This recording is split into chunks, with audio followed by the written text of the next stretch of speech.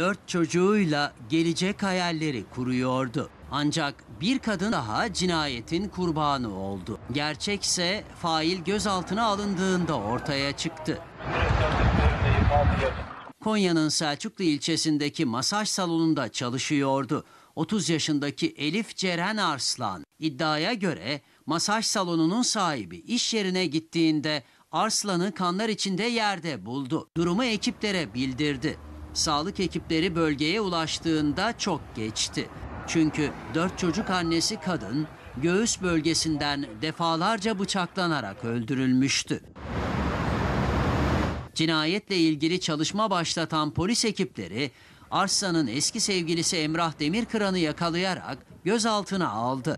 Katil zanlısı eski sevgili sorgusunda Elif Ceren Arslan'ı öldürdüğünü itiraf etti. Ayrıca katledilen dört çocuk annesi kadının birkaç gündür masaj salonunda kaldığı ve kendisine şiddet uygulayan eski sevgilisi Emrah Demirkıran için uzaklaştırma kararı aldığı da ortaya çıktı. Şüpheli çıkarıldığı mahkemece tutuklanarak cezaevine gönderildi.